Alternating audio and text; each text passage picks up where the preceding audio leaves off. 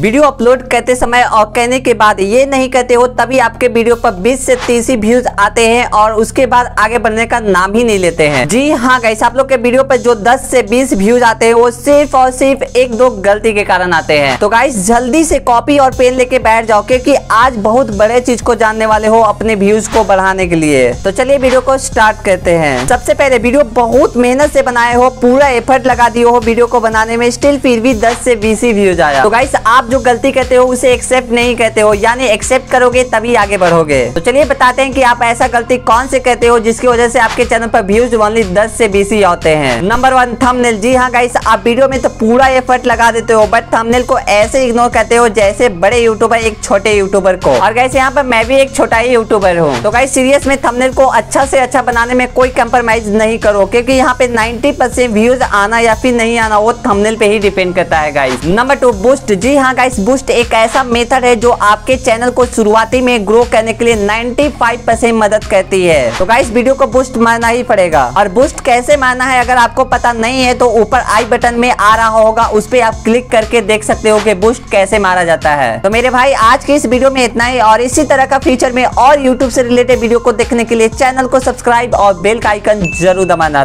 thank you